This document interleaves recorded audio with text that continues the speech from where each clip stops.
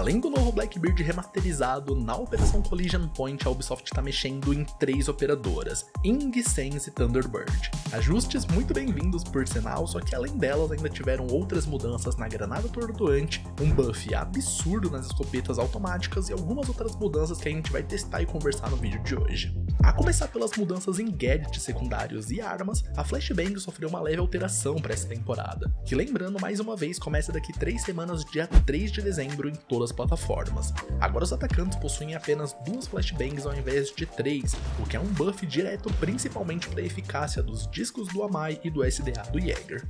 De acordo com a Ubisoft, a ideia de fazer isso é reduzir a frustração de ser frequentemente bombardeado com flash, já que tem partida que parece que a galera tenta recriar aquela cena da BD, quem lembra dessa. Particularmente eu vejo isso também como um incentivo pra galera trazer mais o Zero e outros operadores que possam queimar os antigranadas, já que ele tem 6 câmeras agora, né? Aliás, a respeito dos últimos balanceamentos de mid-season da operação Twin Shells, o pick rate de todos os operadores alterados não mudou quase nada. Pouca coisa com os zeros Ofia e Mose, mas nada demais.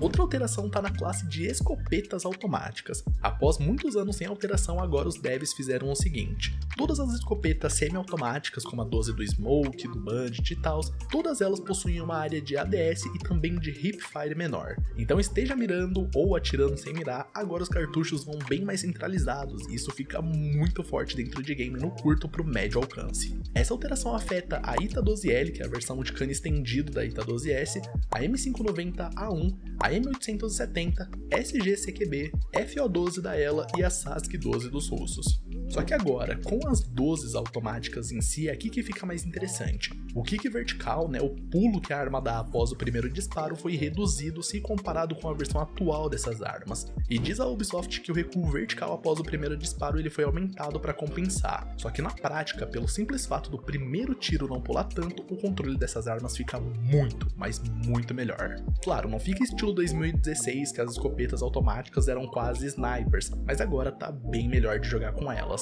Essa alteração afeta a M1014, a Spaz 12, Super 90 e a Sask 12 também. Porém, o aumento no recuo geral é só na M1014, Spaz 12 e na Super 90. A Ubisoft deu toda uma explicação do porquê alterar essas armas, mas resumidamente falando, eles querem trazer as shotguns automáticas de volta pro jogo. Além do mais, eles disseram que o ADS agora tá no meio termo entre a versão atual dessas armas e a versão que o antigo laser entregava, né, que ele ajudava no agrupamento das balas e tudo mais. Então a ideia é que essas armas fiquem bem melhor agora.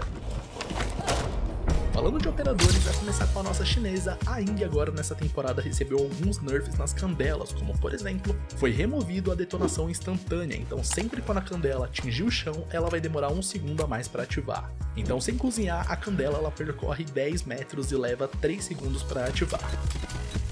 Cozinhando duas cargas, ela percorre 5 metros e leva um total de 2 segundos até ativar. E cozinhando ela completamente, ela percorre mais 2,5 metros e meio e leva 1 um segundo para ativar, diferente como é hoje, que encostou no chão e já ativou. A justificativa para esses nerfs é muito simples: fornecer mais tempo para o defensor conseguir destruir a candela ou ter mais tempo para sair daquela posição antes de ser flechado. Muita gente não concordou e não entendeu por que mexer na Ing, mas assim como existem mudanças que acontecem para o público casual, existem mudanças para o público competitivo. A Ing foi uma das operadoras mais banidas de todo o Major de Montreal, e isso reflete muito sobre o estado atual da operadora profissionalmente. Com o Sens, os projetores ficaram bem melhores, num nível que dá para quase chamar isso daqui de rework. Agora o Sens ele possui a opção de desativar e ativar as paredes quando ele bem entender, o que pode ser perfeito para você surpreender os defensores de plantão. Além do mais, o Sens ele já pode implementar as paredes desativadas, porque elas não consomem bateria quando estiverem desativadas, e posicionando todas as paredes certinho você consegue ativar elas ao mesmo tempo. Outra mudança é que agora as paredes elas são tratadas como feixes de luz e não mais como fumaça, então o Glass e o Warden não conseguem mais enxergar através das paredes, nem mesmo câmeras com visão térmica como as blindadas e os Evil Eyes do Maestro. Para counter sim, tá? O explosivo e a MP continuam funcionando normalmente contra os Sense. E outro ajuste que a Ubisoft fez foi reduzir o número de projetores de 10 para 7, reduzindo o comprimento das paredes em 30%. Bem como foi reduzido a distância entre as paredes para elas começarem a bloquear a sua visão, reduzindo de 1,15m para 0,75m, então você precisa ficar bem mais perto para ficar cego agora com as paredes. De acordo com a Ubisoft, a ideia dessas mudanças é fazer a defesa ter mais medo dos Saints, já que eles vão ter que se atentar com a parede podendo desaparecer a qualquer momento, e a redução na distância para deixar cego melhora a vida dos atacantes e ao mesmo tempo torna menos punitivo para os defensores que decidam shiftar na parede. E é engraçado que eu lembro de ter sugerido essa mudança do Warden não conseguir counterar os Saints e muita gente me chamou de louco, falou que seria impossível e tá lá, ó, você viu, né? Mas falando sério, eu como um player que ama jogar difuso e deixar os clusters pré-posicionados, cara, eu amei isso daqui. O resultado final vai elevar muito o nível das jogadas e o que um Mace J da vida vai conseguir fazer agora é brincadeira.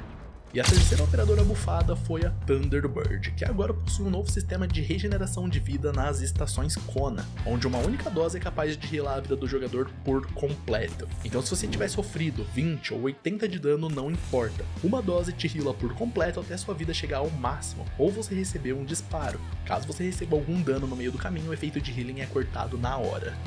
E outra mudança que aconteceu além desse novo healing mais rápido, a Thunderbird também recebeu a escopeta Ita 12S como arma secundária no seu kit, olha só. De acordo com a Ubisoft, a ideia é permitir que a Thunder consiga distribuir melhor as estações numa área maior, já que com uma única estação por área vai conseguir dar conta do recado, e claro, adicionar a ITA 12S serve para aumentar a flexibilidade da operadora para preparar o bomb site sem ter que abrir mão de usar a Spear. Inclusive, cada vez mais a Ubisoft está fazendo isso de adicionar Shotgun e SMG secundária para os operadores, bem que o Smoke poderia receber uma dosezinha de bolso para incentivar a galera a jogar de FMG, hein? Falando agora dos vilões do balanceamento atual, os escudões. A Ubisoft aplicou uma série de nerfs aqui, como por exemplo, agora o melee, que é aquela empurrada que o escudo dá, não causa mais dano. Eles removeram os 60 de dano para zero agora. Segundo, a facada do escudão pode ser cancelada se você acertar o melee primeiro do que ele, então sem mais prioridade pro escudão, porque isso era bem frustrante. Terceiro, agora o alcance para você dar uma escudada é a mesma de uma facada convencional. Os shields conseguiam derrubar a galera de umas distâncias super altas e agora não mais. Quarto, facadas consecutivas vão abrindo mais e mais a guarda dos escudões, o que é perfeito para você counterar uma montanha na hora do clutch, mas ao mesmo tempo torna os escudões extremamente vulneráveis na hora do avanço quando você estiver jogando com eles. E por fim, agora a supressão do escudo, que faz ele ficar sem correr e com a tela toda torcida, com aquele ruído insuportável, ela é ativada com 5 tiros apenas, e a supressão máxima, que dura uns 7, 8 segundos, foi reduzido de 40 para 20 tiros necessário. Ou seja, com muito pouco tiro agora você consegue deixar o escudão lento e sem correr, principalmente contra um blitz. A Ubisoft admitiu que muitas mecânicas dos novos escudões não estavam funcionando como pretendido, como por exemplo, você conseguir acertar a facada primeiro que o defensor era para você derrubar e algum aliado com rifle finalizar para você. E a galera tava usando isso da prioridade com o dano da escudado para fazer entre uns avanços muito agressivos, o que acabou gerando toda essa frustração de jogar contra os shields que a gente tem hoje. Particularmente, eu achei que eles ficaram bem mais balanceados mesmo. Arrisco até dizer que jogar de montanha casualmente vai ser bem mais difícil agora com esse mecanismo de abrir a guarda, num nível que realmente vai ser difícil fazer algo com o operador por causa dessa vulnerabilidade, mas era algo que era necessário, porque no X1, cara, se o desativador tivesse plantado, você sentava e chorava, porque não tinha o que fazer. Outra coisa que eu tenho medo é que talvez os devs eles tenham extrapolado um pouquinho demais, porque isso de não causar dano pode adicionar um problema de frustração muito maior do que tomar duas escudadas e morrer, a galera pegar e ficar te bulinando com dois, três shields ao mesmo tempo. Vamos esperar para ver como que isso daqui vai funcionar dentro do jogo, até porque se tiver passado do ponto, isso vai interferir 100% na performance do novo Blackbeard também. E além de todas essas mudanças, teve um balanceamento econômico também, com a Torn caindo para 10 mil de credibilidade ou 240 créditos, a Solis para 15 mil de credibilidade ou 360 créditos, e o Tubarão caindo para 20 mil pontos de credibilidade ou 480 créditos R6 agora. Lembrando que deve rolar o pacote comemorativo de Ano Novo em dezembro, onde você consegue um operador que você ainda não tenha desbloqueado gratuitamente, então talvez valha a pena segurar caso você não tenha todos os operadores liberados. Eu vou estar deixando o link do Patch Note completo com todas as explicações, gráficos e detalhes desses balanceamentos aqui na descrição do vídeo, mas resumidamente esses são todos os balanceamentos feitos em armas, gadgets e operadores para a Operação Collision Point. Por enquanto eu vou ficando por aqui, considere por favor se tornar um membro do canal GC Gamer para apoiar o canal e também receber uma série de benefícios, participar dos vídeos, assistir eles com antecedência e alguns vídeos exclusivos que só vocês vão assistir. De qualquer forma eu espero de coração poder contar com a presença de todos vocês por aqui no meu próximo vídeo e até mais, galera. Fiquem com Deus.